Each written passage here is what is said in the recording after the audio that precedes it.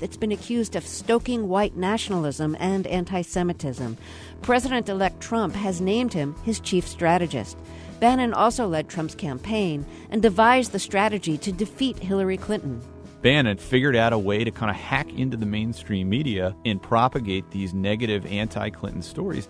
We talk with journalist Joshua Green, who profiled Bannon in Bloomberg Business Week.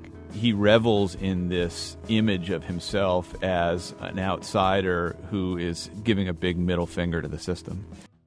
Perhaps the most controversial move Donald Trump has made since winning the election is the appointment of his campaign chair, Steve Bannon, as chief strategist and senior counselor for the president. Donald Trump elevating Steve Bannon to chief strategist and senior counselor in the White House.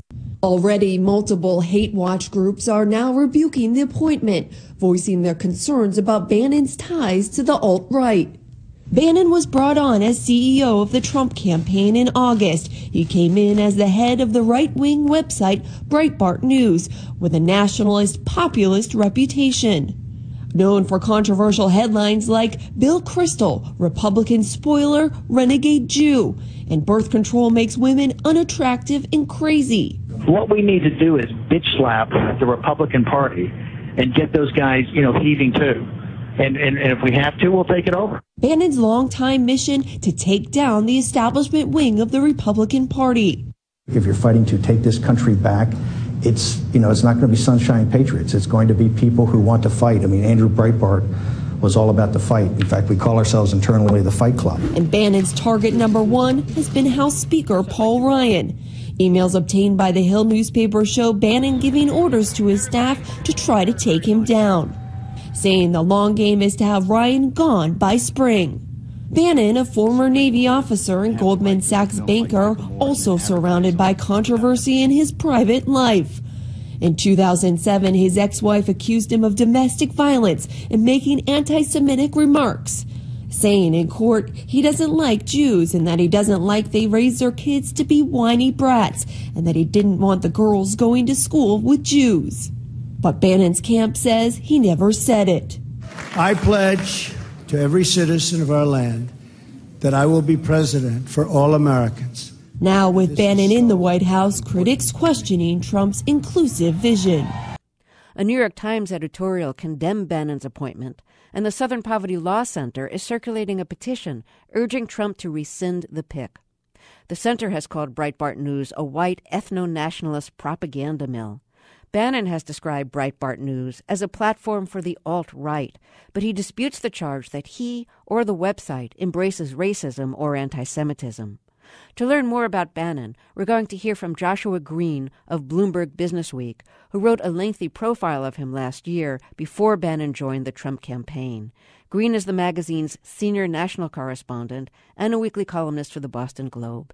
He spoke with Fresh Air's Dave Davies. Some of his money comes from Seinfeld royalties. Is this right? This is true. Yes, I mean he told me that uh, you know, one of his most memorable deals was between Ted Turner and Castle Rock Pictures, which I believe owned the rights to the Seinfeld show, which at the time was only in like its first or its second season and was far from a hit. Turner wound up a bit short of cash when it came, came time to come to the table, and uh, rather than let the deal fall apart, Bannon agreed to take residuals from a basket of TV shows uh, that included Seinfeld in lieu of his full fee. And the way he described it to me, he, he, he said that Seinfeld was the runt of the litter, that there were other shows that were more popular and seemed like they would pay off more down the line. But as we all know now, Seinfeld became an enormous hit. Uh, and so, so he's had a steady stream of income from that ever since. Because he was in the entertainment end of the financial industry, he ended up making movies. He made a documentary, uh, I guess, about Reagan uh, called In the Face of Evil. Uh, this was around the time he connected with Andrew Breitbart. Uh, tell us who he was and how they got together.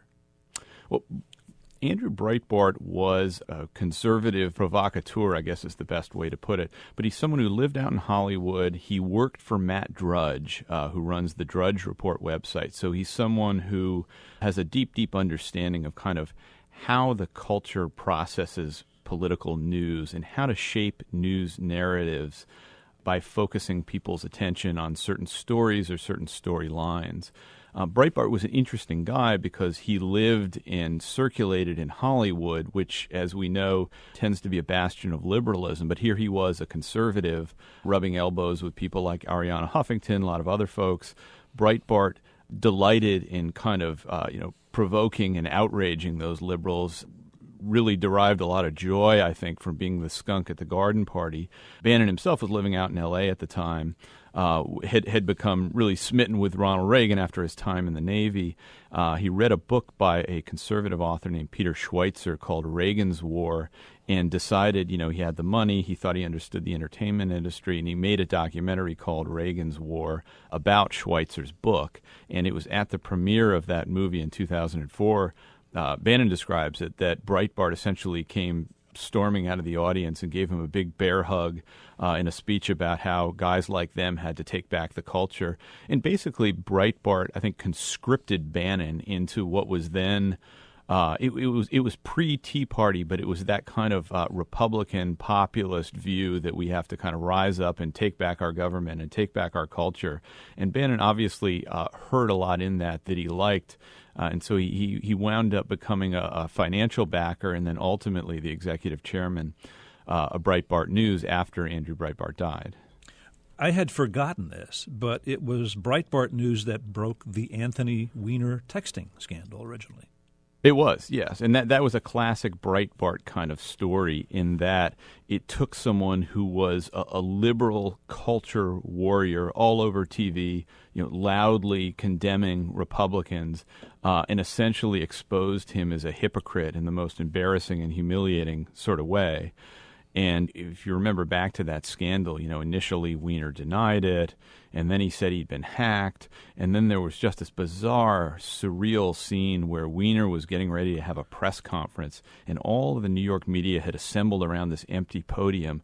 And then out from backstage comes not Anthony Weiner, but Andrew Breitbart himself, who hijacked the press conference and the microphone and began taking questions from astonished reporters. That was a classic Breitbart kind of move, just creating a, a, a, media firestorm and then kind of gleefully egging it on.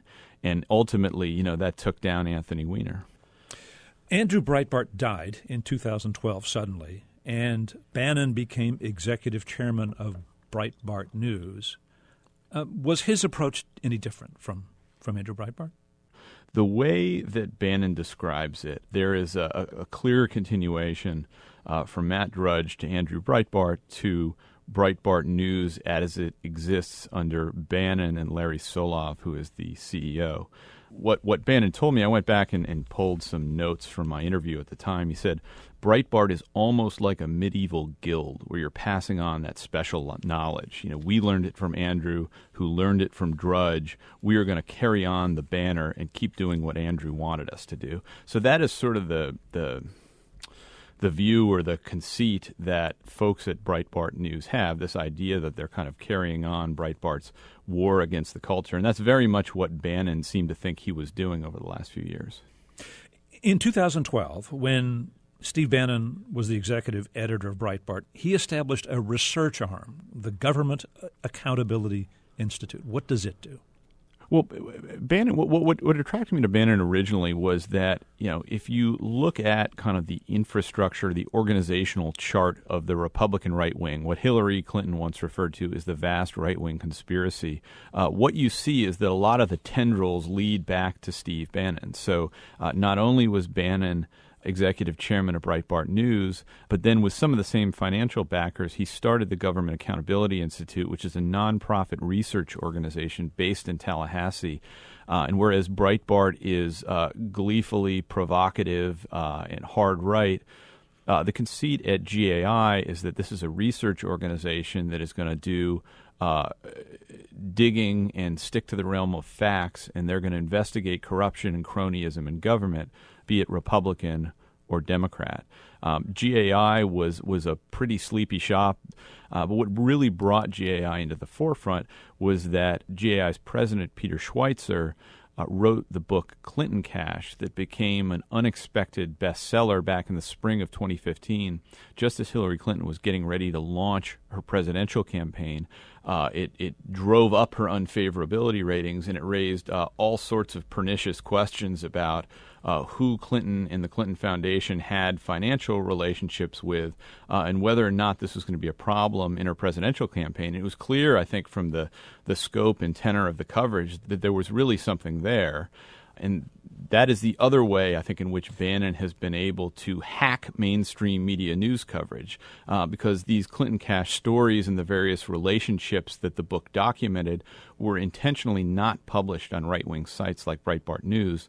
Uh, what GAI did instead was to reach out to investigative reporters in mainstream media outlets like the New York Times, uh, the Washington Post, and others and try and encourage their reporters to take this research that they'd done and to go off and do some digging on their own. And they did, and that wound up um, resulting in front page stories in a lot of major newspapers that got this negative information about Clinton in front of a whole different audience than reads Breitbart News or listens to talk radio. Okay, so this book, Peter, was written by a conservative scholar and former advisor to Sarah Palin. So will the allegations in this book have legs? Well, uh, what, we, what you heard from Hillary Clinton there yesterday was interesting because remember, Carol, she is the one who termed the phrase vast right wing conspiracy. The, the Clintons, uh, for years and years and years, have worked to fend off uh, attacks from the right and also characterize legitimate criticisms from Republicans as, uh, you know, fringe attacks. Uh, that's what they're going to try to do with this book. However, as you point out, Peter Schweizer, the author of Clinton Cash, uh, you know, he is a conservative scholar, went to Oxford, recently partnered with 60 Minutes, uh, you know, on a, on a story about insider trading in Congress, uh, partnering with the New York Times uh, and other organizations with this book, which lends a veneer of credibility to it. And Jeff, there are signs that the Clinton campaign is worried about this book because the Clinton Foundation put out a statement. Didn't you call them for a statement? That's right. The campaign put out a statement, but even more than that, we saw the secretary herself, the former secretary of state, um, addressing this. So this is what one advisor referred to me as a fire that we need to put out. This is the first time the Clinton campaign has responded as aggressively across the board. Um, um, in an interview last night with uh, the top Democrat on their campaign, John uh, Podesta, through surrogates um, all day long. This is the first test of the Clinton response. Um, and they don't necessarily believe, and they say there's not any a smoking gun in the book, but they are worried about just the whole discussion of trust and credibility. So this is the first example of something that they are trying to push back on aggressively. Um, so we'll see if that works. Joining us now is a combatant on the other side of that fight. David Brock is the founder of the liberal group Media Matters and also founder of American Bridge, a liberal PAC that has conducted a considerable amount of Oppo research on 2016 Republican presidential hopefuls. Uh, Mr. Brock's group has put out a whole dossier today uh, on Peter Schweizer, the author of this Clinton book and Mr. Schweizer's history of getting things wrong. David Brock, thanks for joining us this evening. Thanks for having me on. So, um, it is not unusual for campaigns or for partisans who support or oppose specific campaigns to try to shop Oppo research to media organizations to try to get them cover it as news. Do you think there is something different about what Peter Schweizer has done with this Clinton book? Well, I don't know if it's different, but I would say it's disappointing that the New York Times is chasing the same story as Fox News. I think what we have here that might be unique is a convergence of millions of dollars being spent by Republicans on opposition research and a press corps that's so competitive uh, on the Clinton beat that they're looking for any anti-Clinton crumb. And what happens in the situation, which may be happening here, is that, you know, I have no problem with the Times vetting books. I've written books. That's not really unusual, but I think they didn't set the bar bar particularly high here because this author has a rap sheet, as you have already set up, as long as my arm. And we did, we looked at, a, we did a 7,000 word report for Media Matters today. We found 10 instances of really seriously botched journalism, uh, retractions, corrections, uh, media getting burned by picking up this material. And these weren't our words, but people saying sources that don't exist and facts that don't check out, and not meeting the standards of journalism uh, 101. And so I think you have have the journalist, journalistic story, and then uh, and then you have the political story uh, that you've covered, which is to say that this is much more of a coordinated political attack than it is a typical book tour. And if you look at how Donald Trump chose to run against Clinton in the general election, Trump was essentially channeling the same attacks that Bannon had conceived and pushed in the Clinton cash book. And so, and so, and so, and, you know, and so ultimately, you know, he succeeded in this years-long plan to plot and carry off the downfall of, of, of Hillary Clinton.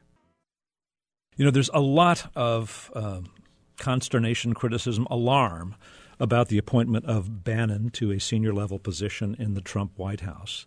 The concern is that it suggests a tolerance, if not embrace, of racism and anti Semitism.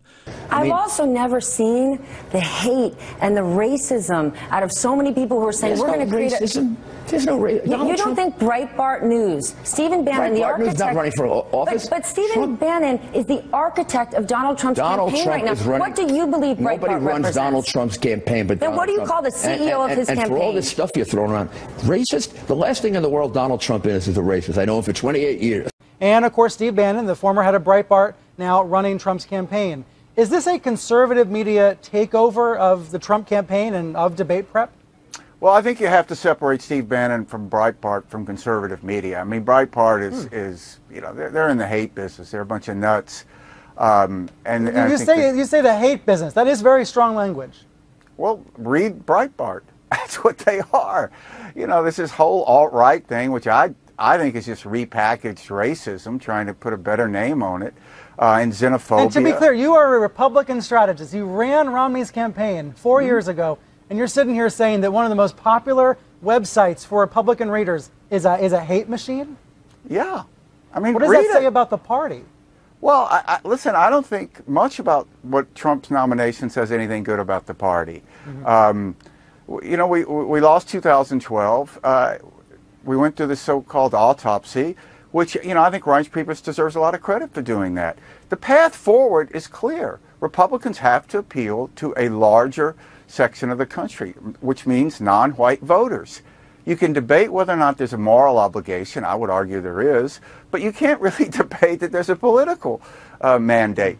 What about the idea that Breitbart News itself propagates, you know, white supremacist views? I mean, the uh, the New York Times editorial on this said to scroll through Breitbart's headlines is to come upon a parallel universe where black people do nothing but commit crimes, immigrants rape native born daughters, and feminists want to castrate men. Southern Poverty Law Center says he made Breitbart News a white ethno nationalist propaganda mill. What's your sense of the content of Breitbart News? Well, it is certainly uh, inflammatory and fixated on race, on religion, on all the sorts of things that have upset people. Uh, I think the thing to understand about Breitbart, uh, and this is not to excuse anything they write or publish, is that they are deliberately provocative. They're aiming to offend and upset people uh, in order to stoke the grassroots anger at government and the broader culture in internet language, it's it's it's an elaborate and effective trolling operation. Um, because that is what marshals this group of disaffected uh, Republicans, uh, you know, and, and, other people, sometimes referred to as the alt right, uh, but essentially this splinter faction of conservatives who have attacked and now taken over the Republican Party over the last four or five years. You know, it's one thing if white supremacists read Breitbart News and and and if they write shocking comments in response to the stories. But as you hmm. look at the content, I mean, does does the website seem to, you know, embrace and propagate these views of, of white nationalism and white supremacists? What's your? Sense? I think I think it certainly fuels those views, and you know I had a discussion with with Bannon about this back in 2015 uh, about you know you know I said you know you're a, a former Harvard guy, you're a Goldman Sachs banker.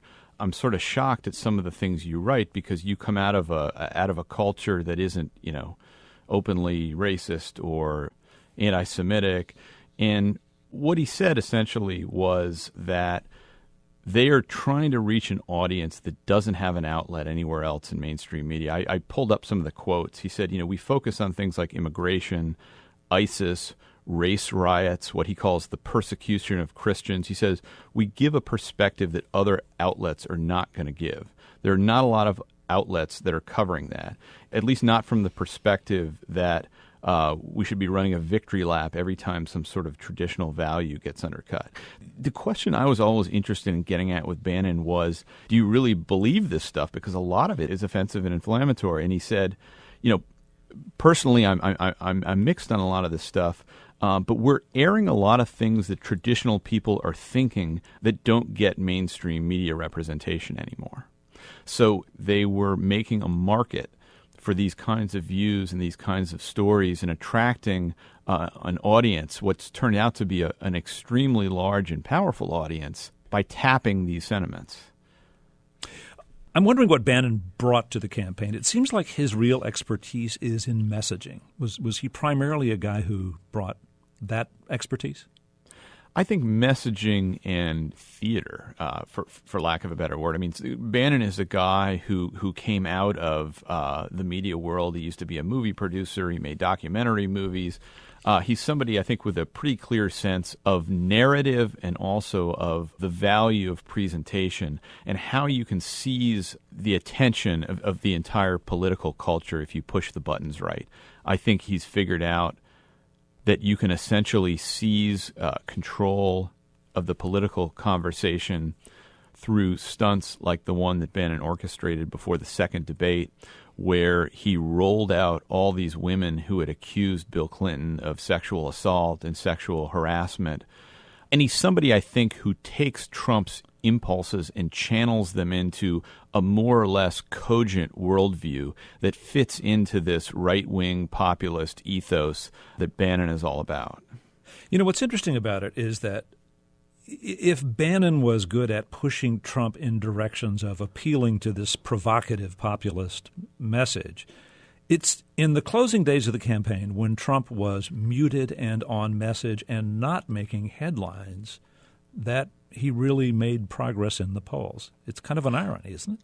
No, I, I actually wouldn't agree with that. I okay. think in the closing days of the campaign, if you listen to what Trump was saying, I mean, it was unhinged. I mean, this stuff about dark conspiracy theories and uh, cabals of global bankers, it struck tones I think that were anti-Semitic. I would argue that Trump in the final weeks of the campaign was uh, you know, mainlining the purest distillation of, of, of Bannon's views out there on the stump. It's a global power structure that is responsible for the economic decisions that have robbed our working class, stripped our country of its wealth, and put that money into the pockets of a handful of large corporations and political entities. The Clinton machine is at the center of this power structure. We've seen this firsthand in the WikiLeaks documents, in which Hillary Clinton meets in secret with international banks to plot the destruction of U.S. sovereignty in order to enrich these global financial powers, her special interest friends, and her donors. The corporate media in our country is no longer involved in journalism. They're a political special interest, no different than any lobbyist or other financial entity with a total political agenda, and the agenda is not for you, it's for themselves.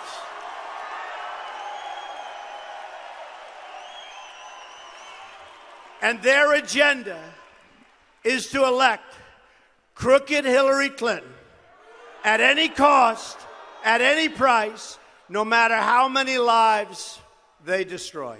And that, to my shock and a lot of other people's, that actually resonated with a much larger segment of the electorate than we had anticipated. He's an interesting character, and you know, in your profile of him, the photos show him wearing cutoffs. And when you see him in photos now, like with the transition team, he really stands out from the Trump family, who are so carefully, you know, tailored and coiffed. I mean, Bannon you know, he looks a little unkempt. He might have a little growth of beard. He doesn't have a tie. His hair isn't exactly combed. I mean, you know, if one were being unkind, he look, you might say he looks like somebody ready to mix it up. You spent time with him. Is this is this a cultivated look, or is that just him?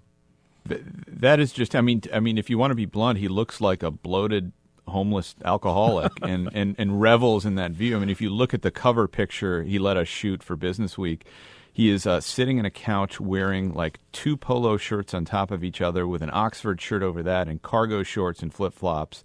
Clearly hasn't shaved or showered. He revels in this image of himself as an outsider who is is uh, giving a big middle finger to the system. There are petitions circulating urging Trump to reverse the hiring of Steve Bannon. Um, why is he so loyal to Steve Bannon?